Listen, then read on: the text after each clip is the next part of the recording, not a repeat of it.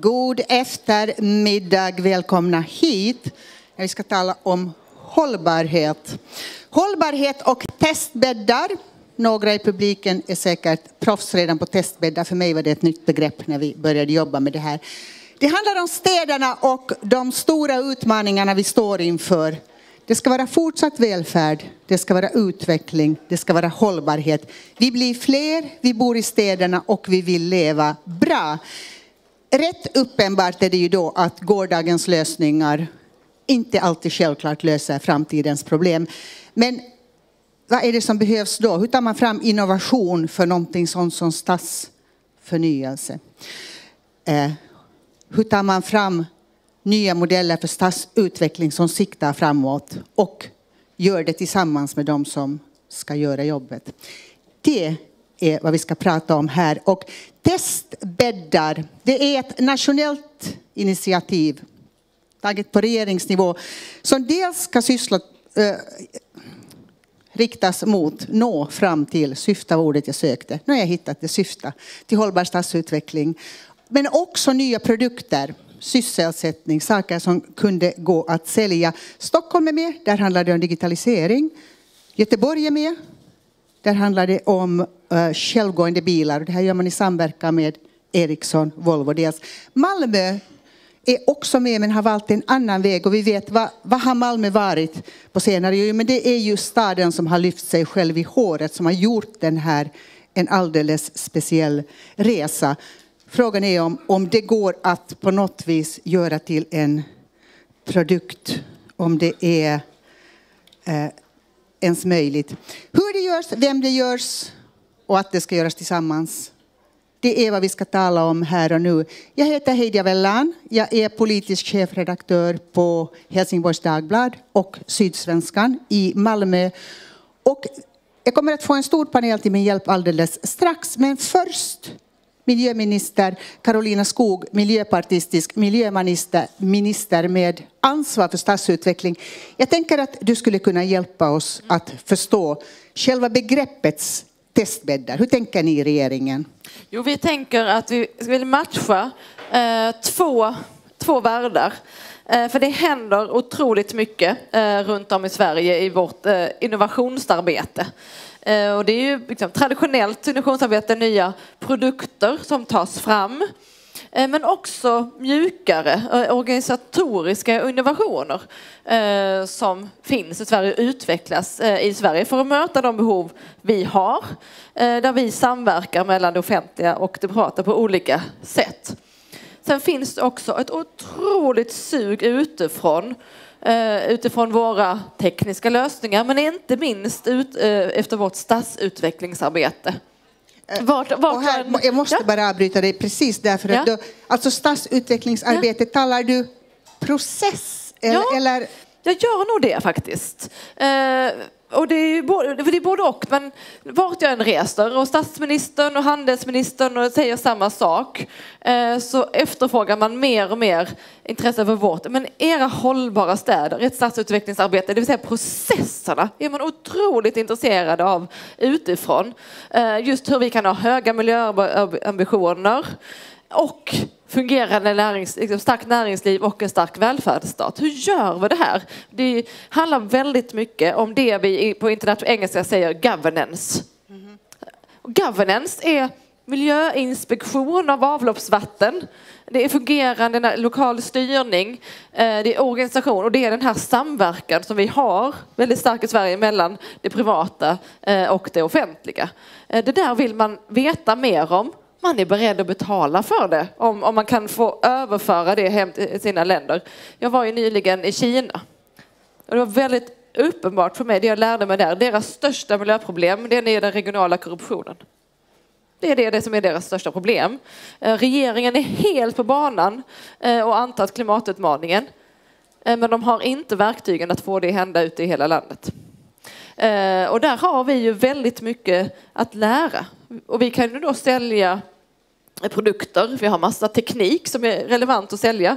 Eh, hanteringen av i avlopp, avfall, miljöteknik. Men vi har också organisatoriska lösningar. Så om vi kan paketera dem till produkter, då finns det ett intresse av att köpa det. Och då tänker vi från regeringen att för att kunna göra det så behöver vi testbädd, alltså platser där detta händer där de tekniska eh, innovationerna tillämpas tillsammans med det här organisatoriska så att vi får möjlighet att helt enkelt paketera detta eh, till säljbara produkter samtidigt som det som sker, som ju möter lokala behov, måste utgå från det som behövs på den platsen kan stärkas eh, utifrån det här intresset utifrån. Så vi tänker att det kan bli en win-win. Det handlar alltså om att paketera hur? Ja. Och då tänker jag att det måste vara vansinnigt svårt att paketera ett hur som fungerar i olika kulturer, alltså från mm. olika organisationskulturer menar jag nu, olika sätt att, att arbeta. Hur ser visionen ut? Vad tänker ni att det huret ska vara? Är det liksom en manual, så här gör man, eller, eller ge oss någon slags skiss på vad, vad, hur det kunde se ut, det som man sen kanske kan sälja? Ja, men då tänker jag att man, man kan göra, paketera erfarenheter av praktiska modeller. Och att vi pratade, jag har suttit här innan och förberett, eh, så pratade vi ganska mycket om Augustenborg i Malmö. Eh, som är ett otroligt och fortfarande ganska unikt exempel eh, på att man med hjälp av man hanterade faktiskt ett problem med översvämning i källare och fick bättre skolresultat. Hur gick det där till? Vad var sambandet mellan mindre översvämningar i källarna och skolresultaten? För det fanns där och vi har kunnat bevisa det. Men att kunna liksom paketera det och Kan du förklara det, det på 30 sekunder? Ja, men det var ett område eh, som var nedgånget socialt. Folk flydde det. Det var jättemycket översvämningar i källarna och det bidrog självklart till eh, dålig boendemiljö skapades projektet eh, Ekostaden Augustenborg som tog ett helhetsgrepp om den fysiska miljön och involverade medborgarna i det arbetet eh, och gjorde ett stort restaureringsarbete som gör att Augustenborg, senaste regnet var det ju bara i Augustenborg det inte blev översvämning för man faktiskt har löst det. Och gjort ett område som man trivs i, man vill bo kvar i. Eh, och det har gjort eh, att området idag har mycket lägre arbetslöshet och bättre skolresultat för det är helt enkelt ett bra område att bo i om alltså, man vill bo kvar. Det här blev en integrations lösning på något sätt? Eller ja, och social hållbarhet. Som, liksom inte, så man använder ett väldigt faktiskt problem till att stärka området på mer än ett sätt genom att ta ett helhetsgrepp. Och där har vi ju lärt oss saker i den här processen och det kan vi lära andra. Eh, men vi kan också, och i, eh, i de här så finns det ju företag som levererade delar av de här tekniska lösningarna som har vuxit från ett enmansföretag till ett stort exportföretag idag. Men också tror jag kan paketera det där mer mjuka faktiskt till säljbara produkter. Vad blir svårast i det här? Jag vet att man inte alltid ska söka problemen utan möjligheterna, men det låter komplicerat. Hur tänker du? Ja, men det är viktigt, tycker jag, att vi behåller fokus på de problem som vi har identifierat eller om man identifierar i respektive kommun. Vad är utmaningen och vad är vår ambition att lösa det? Eh, och inte Eh, liksom, förvirra sig bort i, liksom, eh, i, en exportstrategi som tar över handeln. Utan det måste ju självklart vara de lokala problemen och utmaningar som måste vara i fokus i det här. Det är en utmaning vi har. Eh, där finns det ju en risk eh, att liksom, exportfokuset får styra det här arbetet. Det ska det inte få göra. Och sen är det självklart inte lätt att paketera det mjuka till säljbara produkter. Men jag är övertygad om att det är görbart. Hur ska det här gå till? Utvecklingsarbete är typiskt en stor kostnad, mm. alltid, och, och lite svårt att peta in därför att vinsterna ligger långt i framtiden. Är det här pengar som kommer att komma nationellt till de kommuner som är med eller hur tänker man kring det hela?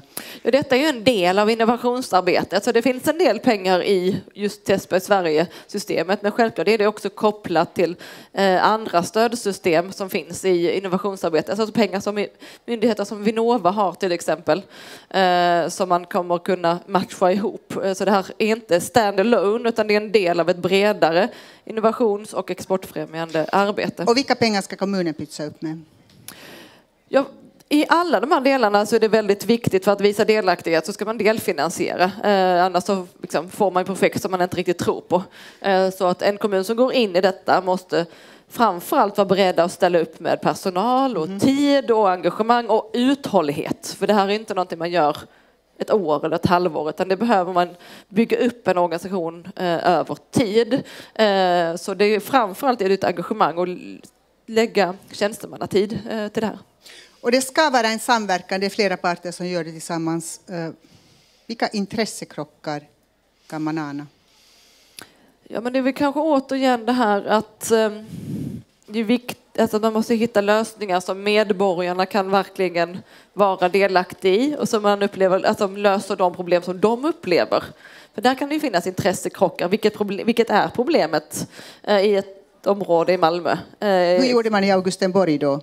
Ja, men där hade man ett väldigt tydligt. Det var ingen som tyckte att källaröversvämningarna var en bra idé. Nej, det, det, jag tror att det fanns en, jag var inte med, jag tror att det fanns en konsensus på den punkten. Det finns frågor som egentligen inte behöver ställas, jag är medveten om det. Du, eh, vi kommer att fortsätta det här alldeles strax, men jag tänker du kan sitta mm. ner under tiden. Jag säger tack för nu och ber dig snart upp igen för Krista Larsson som är stadsbyggnadsdirektör i Malmö stad. Eh, välkommen upp. Det här var den, så, den stora bilden och från ett nationellt perspektiv. Men det här är någonting där man i Malmö går all in. Ja, eh, som vanligt. Som vanligt, som allt, allt man gör. Nej, jag förstår. Ja, ja. Eh, hur då? Du har lovat berätta det och ganska snabbt ta oss igenom. Tre minuter. Ja. Tack. Eh, det är en utmaning. Nej, men, så här va. Om, man tittar på de globala frågorna och de globala ten, tendenser och trender som vi ser så blir de lokala. Vi lever i en globaliserad värld. Men då gäller också det omvända Eh, att lokala lösningar också kan skalas upp till att bli globala lösningar. Ja, vi tror jättemycket på det. Och det pekar också på städernas betydelse. Vi ser ju problemen att nationerna har svårt att lösa klimatöverenskommelsen, men städerna kan agera på ett kraftfullt sätt. Eh, om vi tittar på Malmö, ja men varför ska Malmö vara en nationell testbädd? Jo, därför att vi har arbetat med våra stadsdelar Västra hamnen är en sådan, Hyllie är en sådan, Augustenborg som nämndes här också en sådan. Men nu arbetar vi med hela staden och det är jätteviktigt för då får vi in både sociala frågor, urbana frågor och en stad som hänger bättre samman. Och varför ska man jobba med Malmö? Jo, men vi har en historia av att jobba med stadsutveckling på ett holistiskt sätt. Vi är bra på det. Vi är bland de bästa exemplen i världen på, på detta. Eh, vi har drivit utvecklingsfrågor och har drivit innovativa processer i det arbete som vi har gjort. Det har utgått ifrån ett partnerskap. När vi ändrade hela staden från industristad till vad det är nu gjorde vi det i partnerskap. När vi 2015 tog emot enormt stora strömmar av migration gjorde vi det i formella och informella partnerskap. Nu när vi ska börja och ställa om staden igen behöver vi ett nytt partnerskap. Någonting som vi gör nu då, det är att vi baserar ju detta, tänker vi, på de förmågor som vi har skaffat oss. Vi är globala, vi talar jättemånga språk och så vidare och så vidare. Det gör att företag vill använda de förmågorna som vi har skaffat oss i Malmö, som skiljer sig från andra städer. Eh, vi sätter nu upp efter sommaren en stadsutvecklingszon och det är just Vinnova som går in och stöttar oss. Här ska vi testa policykrockar, krockar i lagstiftningen. Vi säger inte frizon för vi tror inte vi ska slippa lagarna. Men däremot så ska vi se just det som Carolina är inne på. Tillämpningen av lagstiftningarna är nog det stora hindret, inte lagstiftningen i sig. Det ska vi utforska tillsammans med Göteborg. Eh, vi tror då att när vi jobbar vidare med detta så är det hur kan vi, låt, eller hur kan vi använda urbana investeringar eller lösningar att driva andra frågor, resurser, jobb, unga. En av de viktigaste rekommendationerna som Malmökommissionen hade var, ska man bara göra en sak så ska man ge unga en bra start i livet. Och det tänker jag stadsutvecklingens processer kan mycket väl också härbärgera de processerna kring delaktighet och annat. Det vi gör nu, nu ska vi gå från Brundtland som vi har varit trogna och nu har vi sagt att vi ska använda de 17 målen. Det har vi varit ganska tydliga på. Du var först ut på det tror jag Katrin. Ehm, tillsammans med Karolina. Ja. Ehm, och det är lite uppfordrande för att om vi säger att det händer i mellanrummen, ja men tre gånger tre eller vad det är, ja, det är många. Men 17 och så de mellanrummen, det är oändligt många. En spännande komplexitet kan man ju säga utifrån det. Så eh, det är någonting som vi ska göra nu då i ett partnerskap eh, och eh, så här långt så har vi börjat att prata med de här företagen. Och det är företag som använder vår förmåga i att ta fram unika produkter och exportera dem. Men det vi tänker, eller det jag tänker är ju i första hand den här systemexporten, alltså det kunnandet. Och vi har verkligen någonting att sälja här, både Malmö och Sverige. Det vi gör nu, nu ska vi konkretisera och nu ska vi utveckla det tillsammans med våra partners. Eh, och det gör vi nu efter sommaren. Så. Och då måste jag fråga dig också, därför att, att det här är ni som sysslar med det. Jag förstår att man så småningom förstår, men fortfarande, hur paketerar man ett hur? Hur, hur ser produkten ut? Vad är det man, man kan sälja? Ett tänkande, men hur överför man den produkten till någon annan? Ja, men det är ju en processkunskap som vi har. En förmåga att sätta samman komplexa system. Det kan man exportera. Ett synsätt på vad en stad är och vad en stad ska göra för någonting för sina medborgare. Det är någonting som går att paketera, absolut. Sen kan det bli självkörande bilar och bussar och så av det. Men det är liksom tekniskt, det är den enkla grejen. Det svåra är ju att få det här processkunnandet att omsättas till någonting som är exporteringsbart. Men det och går. där måste ju ändå kultur, eller liksom synen på, du sa vad en stad ska leverera, kan man säga att det finns någon slags global samsyn kring det? Är det inte så att man i olika politiska system på olika ställen i världen har en ganska olika syn på det? Eller har jag fel? Är det så att, att man när man styr en stad har en ganska stor samsyn? Eh, ja, naturligtvis är detta kulturellt, självklart. Eh, men det handlar ju ändå om att arbeta med invånarna och att göra en bra livsmiljö för dem. Sen har det olika kulturella perspektiv, men vi håller oss ändå i den demokratiska världen så att säga. Så det finns en en gemensam en kärna av utmaning det som det här kan bli ett svar på. Ja, det, det är så Klimatfrågan är likadan för hela världen. Ja. Eh, migrationsfrågan är likadan för hela världen. Eh, hälsofrågorna är likadana för hela världen och så vidare. Bra. Stort tack, Krista. Och det här är alltså typiskt något man gör i partnerskap. Vi har några politiker på plats och vi har en del av dem, vi såg listan av företag som finns på plats. Om ni alla kommer upp, panelen på scenen, så presenterar jag er. Karolina, kom, kom med du också när ni är uppe här. Eh, det blir lättast så. Här närmast, av de företag som finns med, ett av dem är Skandia och Lena Höök är hållbarhetschef på Skandia en liten stund till. Ja. För du håller på att byta jobb. Det är den rollen du är här hur som helst. Berta Stenevi, miljöpartistiskt kommunalråd med ansvar för stadsbyggnad och service. Yes. Så är det. Eh, Katrin Stjernfeldt Jamme är kommunstyrelsens ordförande i Malmö. Men du, är också, du har ett så här speciellt ansvar för, nu tittar hon på mig som att, att jag kommer att säga någonting som hon inte känner till. Jag hoppas att det inte är på det sättet, så då har jag hittat på det. Ett särskilt ansvar för hållbarhet. Ja. Eh, och Carolina Skog, du är också miljö, äh, miljöpartist, presenterade den en gång, alltså miljöminister, och du har ansvaret för stadsutveckling i regeringen.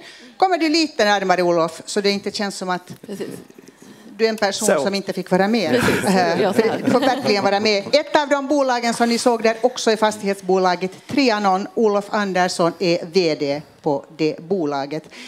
Eh, jag tänkte att jag skulle börja hos er, Olof och Lena. Därför att ni är inte med i det här bara för att rädda världen, eller egentligen inte alls för det är en dum drivkraft för ett företag, utan det måste finnas en affärslogik, en affärsnytta. Lena, börjar du att berätta i vilken miljö, hur? Var gärna lite konkret. Ge, ge något exempel så vi, vi förstår hur ni verkar. Ja, men jag kan berätta hur eh, Skandia jobbar med, med hållbarhet. Då. Vi, eh, och jag är på väg över i ny roll då, på Skanska, att också få jobba med hållbarhet och hoppa in i bland annat det här kanske då.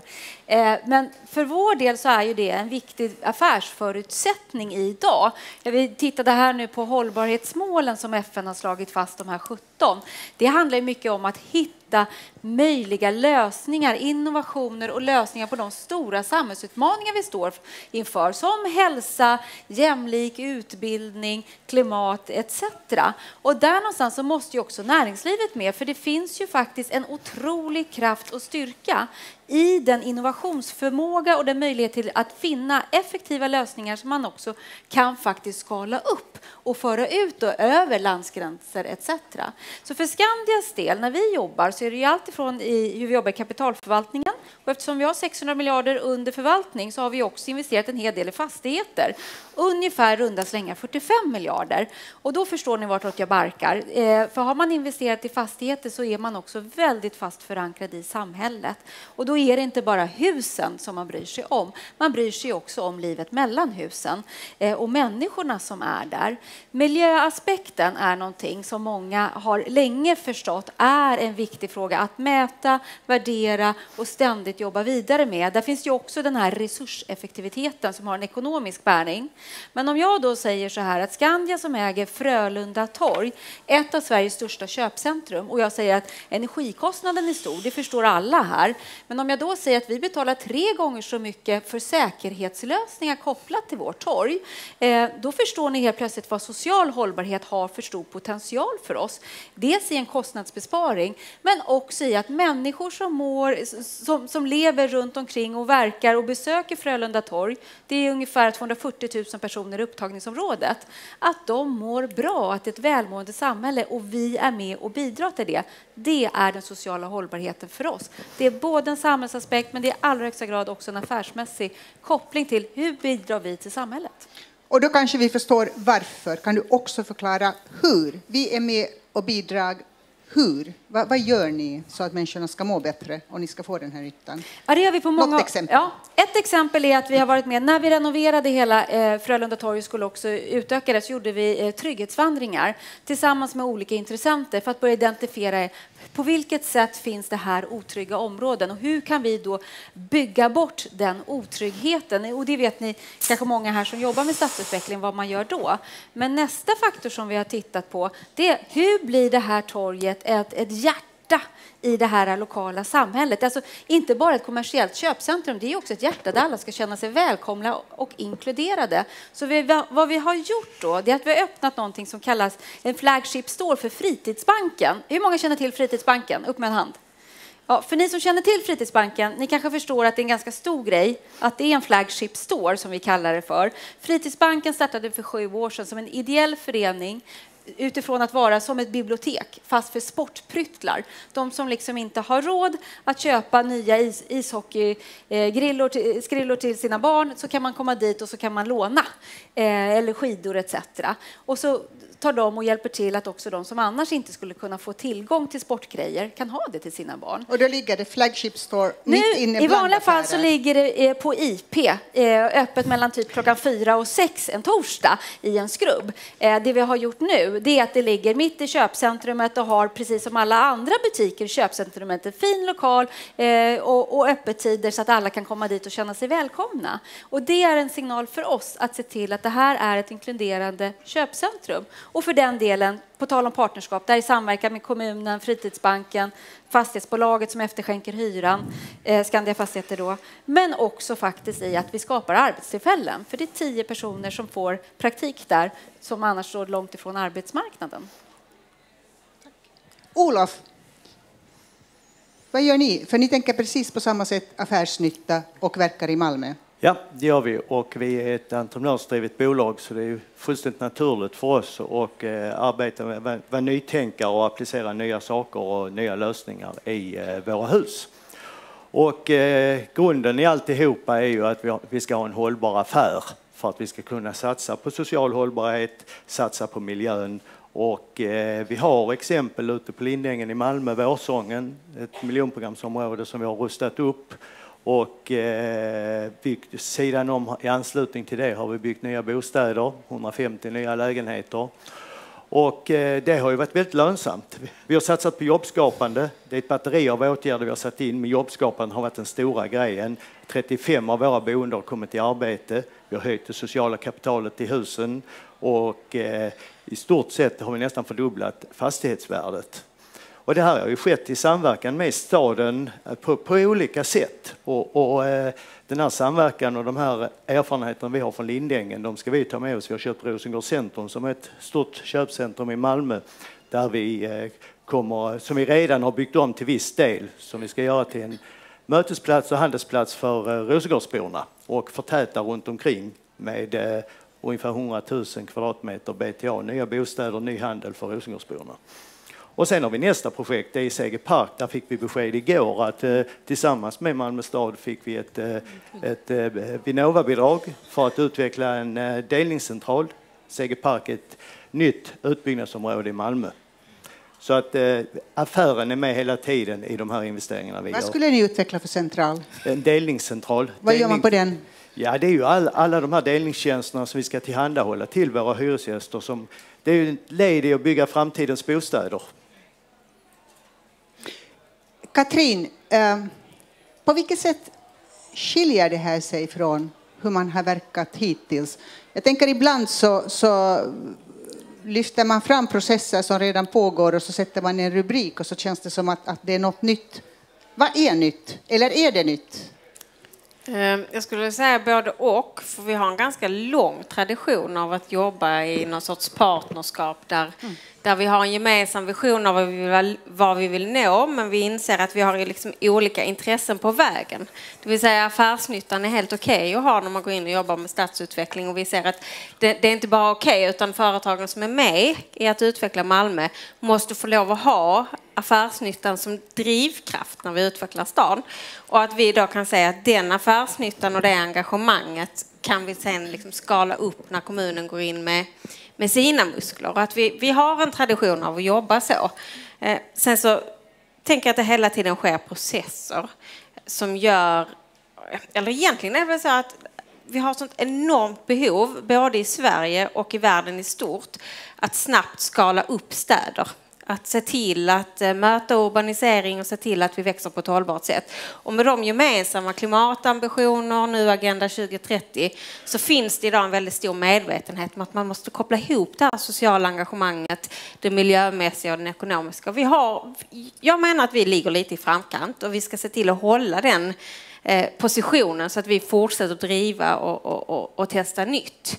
Eh, så att det nya är väl snarare att det finns en större global insikt i att de här eh, parametrarna på hållbarheten behöver dockas ihop. Jag tycker att Agenda 2030 är helt fantastiska i sin tydlighet. Eh, de 17 målen, om man företräder en, en, en stad och kanske inte minst en stad som Malmö som är så global, där det är så uppenbart att hela världen liksom påverkar Malmö och faktiskt också att det vi gör påverkar världen. Men de här Agenda 2030-målen kan vi använda för att synliggöra det vi gör i Malmö. För att när vi agerar i staden tillsammans med olika partners så hjälper vi vår regering att leverera mot FN-målen till exempel.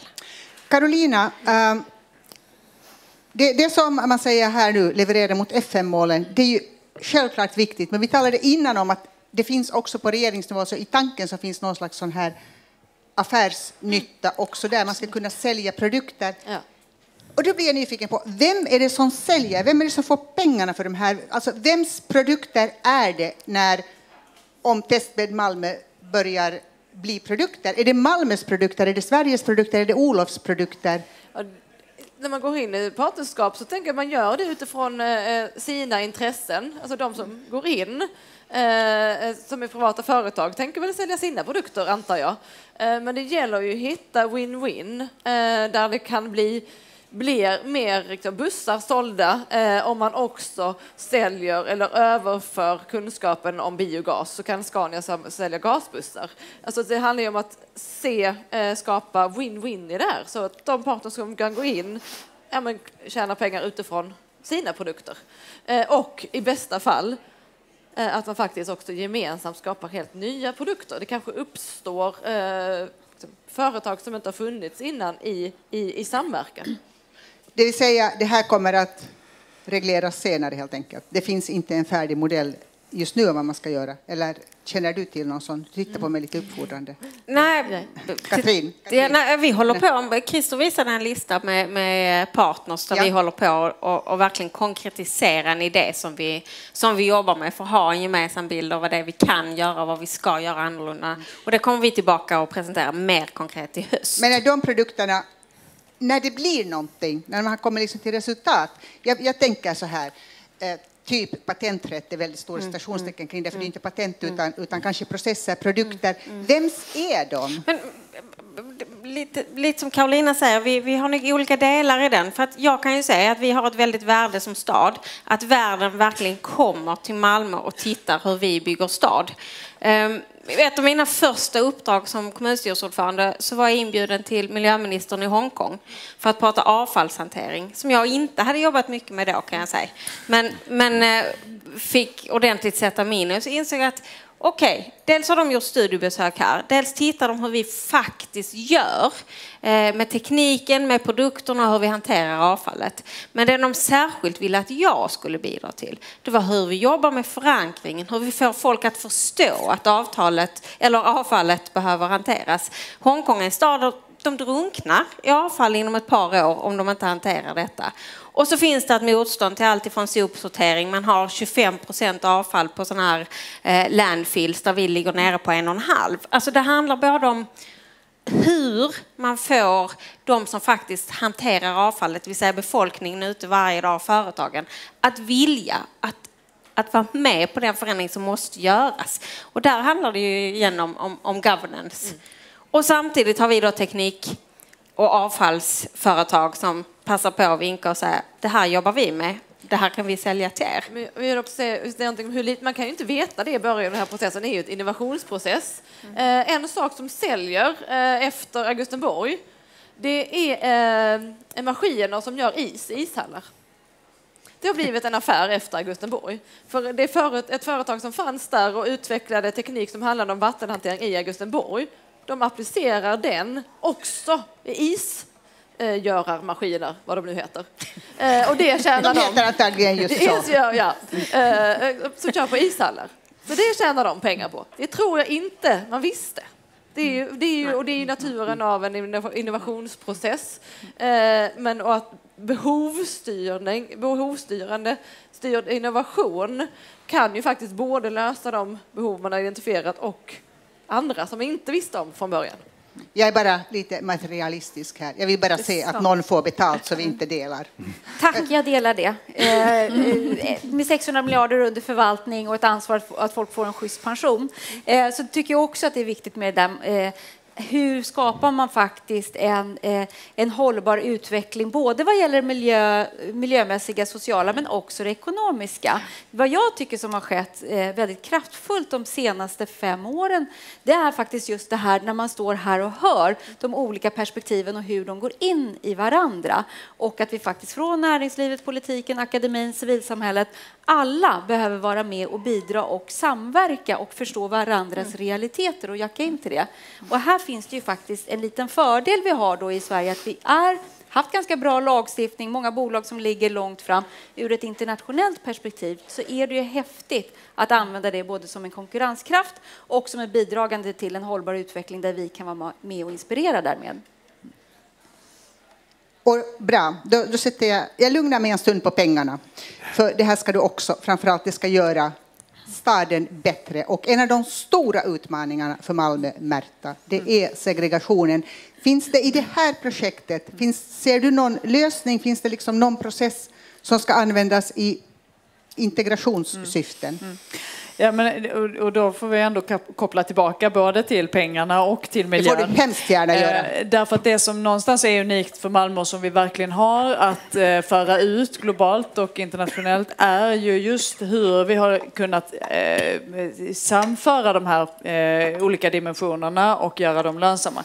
Därför att det som, det som Olof till exempel har gjort i vårsången handlar ju just om att kombinera en miljömässig insats med en social insats insats och därmed också få en ekonomisk avkastning. Och det är ju det här någonstans där vi pratar om det som Christer var inne på när vi pratar om de globala utmaningarna som är gemensamma för stora delar av västvärlden och de lokala lösningarna som går att skala upp. Det är ju där i den, den stora vinsten ligger. Eh, jag tycker du gör helt rätt i som frågar efter var, var kommer då den ekonomiska nyttan också. Däremot skulle jag säga att Rädda Världen är en fantastisk drivkraft för ett, för ett affärs... Det tror jag att vi kan vara helt överens om. Därför att vi lever inte i de här stuprören som vi traditionellt har pratat om. Vi är inte en offentlig sektor, en privat sektor. Vi är ett samhälle och för att ha förutsättningarna för att driva affärer så behöver vi också ha en stabilitet i det samhället, ett socialt lugn och en social hållbarhet och en, en miljömässig hållbarhet hållbarhet. Eh, och i när vi kan arbeta, vi behöver arbeta med segregationsutmaningen i Malmö alldeles oavsett om vi kallar det testbädd eller inte. Det därför att det är en utmaning vi har, det är en utmaning som vi behöver lösa för att vi ska skapa bättre förutsättningar för våra företag och för våra eh, invånare och för, därmed för vårt gemensamma samhälle. Men när vi gör det och i det arbete som pågår därför att vi har en utmaning som vi måste ta i eh, så kommer det också fram innovationer och det kommer fram arbetssätt och processer som vi sen kan föra ut på en marknad och och också i förlängningen ta betalt för. Eh, men det börjar ju i inte att vi sitter och säger vi ska vara en testbädd, nu ska vi hitta på fräcka projekt som kanske blir någonting och det gör vi. Vi hittar på fräcka projekt därför att vi tänker att det ska bli den produkten. Ingen innovation börjar så. All innovation börjar, vi har ett problem som vi behöver lösa, hur löser vi det problemet? Det som är skillnaden på det här innovationsarbetet och det kanske som är mer begränsat till ett företag, det är ju att vi arbetar med ett större system. Men det är ju samma drivkrafter. Det här är vårt behov, vi arbetar med att hitta de lösningarna och ut ur det kommer det Eh, produkter. Och vi har ju faktiskt under ganska lång tid sett behoven på miljöområdet som har drivit fram innovation som där vi i Sverige har, har ligger ganska så långt framme. Biogasen har, har vi pratat om. Vi är inte jättelångt framme i användningen av biogas i Sverige, men vad vi inte, de flesta av oss faktiskt inte vet om det är att vi har en enorm exportindustri i form av biogasteknik Därför att det har drivits fram av att vi har identifierat behoven och arbetat med dem. Det som blir nytt nu, och eftersom du frågar efter vad är nytt i detta, det som kanske är nytt i detta det är att vi sätter ord på och form på det sociala arbetet och de innovationer som kan komma ut av det och som vi sen också kan föra ut. Och governance, när, man, när du säger Caroline att, att eh, eh korruptionen är det största eh, miljöboven egentligen i Kina, där är ju också om vi kan föra ut en modell eh, till Kina för hur man ska styra sitt miljöarbete, ja då har vi plötsligt också öppnat upp för en marknad för våra miljöteknikföretag som plötsligt har en möjlighet att komma in på den marknaden och få avsättning för sina produkter. Så att det är inte så att det här är ett fluff eh, som bara handlar, det är processer vi ska arbeta fram och, och paketera, men de får en extremt konkret avsättning sen i, på längre sikt i produkter. Men vi vet inte idag vilka produkter, för det är ju de som ska komma fram ur arbetet. Bra, jag ska alldeles strax ge till dig. Jag låta det bara gå via eh, Katrin för att jag tänker i ett företag, alla vet att man måste syssla med forskning och utveckling. Man avsätter pengar i budgeten för det, men man vet också att det är en väldigt, väldigt dyr verksamhet och man vill kunna räkna hem den. Uh, nu är ju offentligt budgetarbete, det ser ut på ett annat sätt, men jag vill veta, finns den här tanken med där ändå? För att det är innovationsarbete, man lägger ner resurser, mm. i alla fall i form av väldigt mycket arbete. Mm. Tänker man räkna hem eller tänker man det här är problem vi måste lösa i alla fall? Ehm, jag tror att utgångspunkten är att vi har problem vi måste lösa som vi delar med andra städer och att vi liksom knycker idéer och försöker förädla och sprida våra. Ehm, men sen försöker vi också hitta modeller. Det, det gör vi tydligare idag än vi har gjort historiskt genom att försöka identifiera eh, tidigt ringa in. Om vi gör rätt investeringar, även de sociala, vad sparar vi då för utgifter framgent? Och att vi försöker få in det sättet att tänka i vår budgetprocess. Eh, tidigare hade vi en välfärdsredovisning där vi liksom fick en massa indikatorer hur folk mådde och hur folk, alltså hälsotillståndet i stan kan man säga lite slarvigt. Och när jag började som socialkommunalråd så reflekterade jag, varför kommer denna en månad efter att vi har lagt budgeten? Alltså vad ska jag med denna informationen när vi ska fördela resurserna och se vad vi behöver investera? Den informationen ska vi ha för att se vad ska vi göra annorlunda? Var behöver pengarna jobba för att vi ska få ett annat utfall? Så att vi försöker jobba på ett annat sätt med styrning och ledning idag. Det är också där vi kopplar in Agenda 2030 och FN-målen. Det är inte så Alltså vi försöker hitta sätt att lägga det i vår, i vår vanliga styrsystem så att vi liksom skapar den, eh, ja, men den kraften och den dynamiken som behövs. Eh, så att vi tydliggör att våra satsningar ger, ger nytta. Sen, vi tittar idag på hur vi ska jobba med att utveckla investeringsstyrningen i staden. Ehm, det finns geografiskt runt om i stan områden där vi har planer, kanske med bibliotek, med satsningar på skolan, där Olof, där andra där har liksom intressen och planerar att gå in och investera. Och så idag säger vi så här, låt oss samlas, Låt oss titta på alla investeringar som är på väg in i detta området. Kan vi synka dem så att de samtidigt som du sätter spaden i marken så går vi in och gör vårt och så kopplar vi på den tredje parten som samtidigt gör något. Och så kanske vi kommer på att du som ska göra denna investering bör vänta till detta är klart. Alltså att vi har ett helhetsgrepp som vi kanske också ger dig lite mer motivation eller muskler mot banken eller vad det nu kan vara. När vi säger att värdet på din investering ökar om du kan räkna hem vår. Och där eh, försöker vi också hitta nya grepp kring investeringsstyrning. Så mycket handlar om governance. Olof? Nej, det var det här var, var jag ville kommentera det var, var pengarna hamnar i samverkan. Det är ju, när det gäller all samverkan så det bygger ju på att man måste, alla måste tjäna på det, som Caroline var inne på. Det måste vara win-win. Och, och eh, då, eh, när det gäller vårt Lindängen så har vi räknat på samhällsnyttan i, i de eh, investeringarna vi har gjort där ute, vad jobbskapandet har lett till för eh, vinster i samhället. Och där har ju samhällsvinsten varit 7,5 miljoner om året. Och det är väldigt viktigt att leverera en samhällsnytta också, samtidigt som vi har en lönsamhet i vårt bolag. Tack. Märta var först och sen du. Eh, nej, jag tänker på, Christer nämnde, nämnde en sak innan som är ganska hastigt, men i, i stadsutvecklingszonerna och när vi vill titta på policykrockarna. Mm. Eh, och en, av de, en av de största eh, vad ska vi säga, aha-upplevelserna för mig när jag klev över från näringsliv till politik för några år sedan, det var ju faktiskt det här hur oerhört kortsiktig en kommunal budget är. Mm. Eh, det här att vi inte har möjlighet att arbeta med långsiktiga investeringar på ett vettigt sätt, på, på samma sätt som man gör i ett bolag. Så att när vi pratar om att, att jobba med, med forskning och utveckling i offentlig verksamhet, i politiskt styrd verksamhet, så är det relativt svårt att göra på ett bra sätt. Hela kommunsverige har ju slitit med att få hitta en vettig form på sociala investeringar till exempel, men det är väldigt, väldigt svårt. Det som skulle vara oerhört intressant, säger jag och kikar, blinkar lite så här åt det hållet, det är ju ifall vi i det här arbetet med testbädden hade kunnat börja utmana en del av de så att säga, policykrockar vi har. Skulle vi kunna hitta formerna inom ramen för utvecklingsarbetet där vi till exempel kan fondera på ett annat sätt. Hade vi kunnat hitta former för, säg, eh, ett kommunalt instegslån eh, där vi kunde låta socialt utsatta områden göra det möjligt för medborgare med väldigt litet eget kapital att köpa loss sitt boende och därmed dra nytta av och få del av den värdeökning som sker när vi går in och utvecklar ett område. Hade vi kunnat hitta andra sådana försök utan att börja med fyra års utredning och stora, eh, och stora lagförändringar utan faktiskt börja i, i, i, att få testa. Kan vi använda den lagstiftning som finns på ett bra sätt, kreativt sätt och se vilka nyttor kan vi få ut av det och vilka nyttor kan det i så fall ge vidare ut i, i det övriga samhället? Jag kan säga på en gång, den frågan kommer till dig alldeles strax och det kommer också att bli där vi slutar. Så fundera under tiden, Lena. Mm. Ja, jag tror att en nyckel i det här för att få den här typen av partnerskap och samverkan att fungera, och särskilt när man börjar, börjar prata om att man skapar värden och börjar realisera det i ekonomiska termer, är ju fruktansvärt viktigt att kunna mäta effekter. Kunna mäta de sociala effekterna för att också kunna validera vad är det ekonomiska värdet som vi har skapat. Om det är arbetstillfällen, om det är ökad trygghet eller om det är andra olika hälsoaspekter, inkludering etc. Här börjar det nu komma en mycket större medvetenhet. Mm. Investerare till exempel, Sverige har varit ledande inom att ta fram konceptet green bonds. Mm. Eh, och det handlar ju om att få gröna investeringar, locka kapital till investeringar som är olika former av miljö, positiv miljöpåverkan. Mm.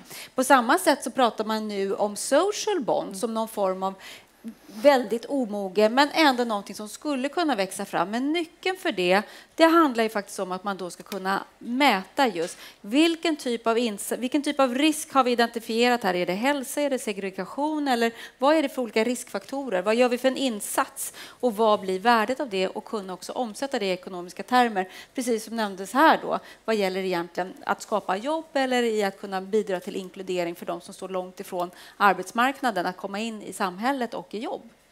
Eh, vad säger du Carolina, kan man, dels den här frågan med, med policykrockarna, mm. kan man åtminstone på en, en, testnivå se om det går att göra annat? Alltså, offentliga budgetar, kommunala budgetar, de kan ju vara lite otympliga när det gäller just det här investeringsmomentet, att ta pengarna med in i framtiden. Är det någonting ni funderar på? Dels, och dels just denna mätbarhet, att se att det här inte bara är något nytt som händer utan att det också finns, eh, går att påvisa och går att sätta en prislapp på. Och det kommer också att bli vårt avslutande svar. Varsågod. Eh, jag tackar. Jag får svara på den frågan om policyskakan på ett väldigt principiellt nivå. Eh, men jag vet och jag har diskussioner inom de lagstiftningar som jag har ansvar för. Jag har diskussioner med SKL, Sveriges Kommuner och landsting, om just det arbetssättet. Kan man innan man gör den stora lagreformen testa eh, eh, nuvarande system eh, i, eh, i, i försöksverksamhet. Så principiellt eh, tycker jag att det är ett intressant sätt att arbeta. Vad tycker Eh, SKL? Ja, SKL är vi är verkligen också intresserade. Det här bygger egentligen på diskussioner som har förekommit mellan SKL och eh, några av våra länsstyrelser. Eh, eh, Så det kommer eh, från inifrån eh, SKL. Eh, så jag tycker, att, jag tycker att det är ett intressant sätt att arbeta. Eh, sen det här med mätbarheten är också otroligt viktigt. Eh, och där gör ju, görs ett arbete som framförallt leds av finansmarknadsministern som handlar om att mäta välfärd på ett bättre sätt, att komma utanför BNP. Alltså för vi, precis som företag har varit liksom väldigt smala i att bara prata, mäta mot vinst, så har staten är staten och också extremt svara när vi bara mäter BNP. Eh, och det är ett dåligt mätt eh, mått på välstånd. Och där har vi på, påbörjat ett arbete eh, med SCB eh, för att hitta bättre sätt att mäta välfärdsmått som kommer kunna kommer vara väldigt viktigt i den här typen av eh, projekt. Så det händer väldigt mycket. Men jag tänker också jag avslutar med att säga, men varför är det så viktigt för mig som miljöminister att arbeta tillsammans eh, med eh, näringsministern i exportstrategin? Eh, för jag tänker, jag går ju också in i det här och vill ha någonting. Jag vill ha miljönytta och att vi tar stora steg och att vi går från små piloter och till transformativa steg till i miljöarbetet. För vi ska omvandla vårt samhälle till ett fossilfri ekonomi. Det är jättestora saker.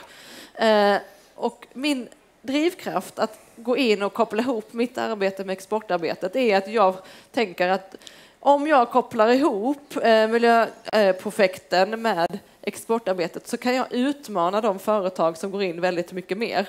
Som sagt, utvecklingsarbete kostar, men man gör ju det relaterat till den potentiella vinsten. Som vi kan säga, men gå in i det här projektet, investera ganska mycket i det. För någonstans här så finns det exportpengar att tjäna. Istället för bara den lilla marknaden, den lilla effekten, så kan jag pusha dem mycket, mycket mer och få större steg framåt i miljöarbetet. Det är det jag vill ha. Stort tack för det. Carolina Skog, Olof Andersson, Katrin Kärrfeldt Jamme, Märta Stenevi och Lena Höök.